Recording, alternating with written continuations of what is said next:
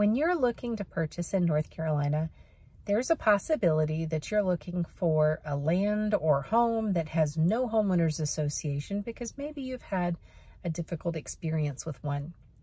Now, it is possible to find land that has no subdivision or covenants or restrictions or rules. However, there is county zoning which would prohibit you from doing certain things.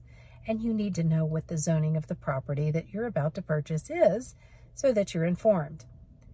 There's also the possibility that you find your dream home or land in an established subdivision that does have covenants or rules or guidelines, but there's no formal homeowners association.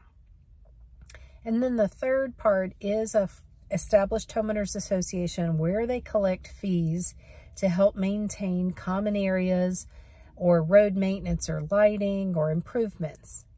And I'm not saying one is better than the other. What I am saying is that if you are going to consider a property, you want to know the zoning, you want to know if there's rules and regulations, and you want the current rules and regulations because over time, those can have been amended or changed.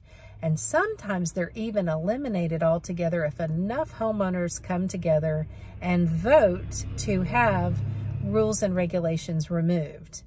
And if there are covenants, but no established homeowners association, that doesn't mean you get to do whatever you want.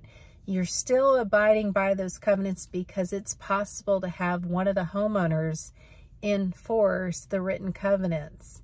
They have to do that through a court of law, which is not fun, but it's important for you to know these things because when you purchase a property, we want you to have a great experience and love where you live.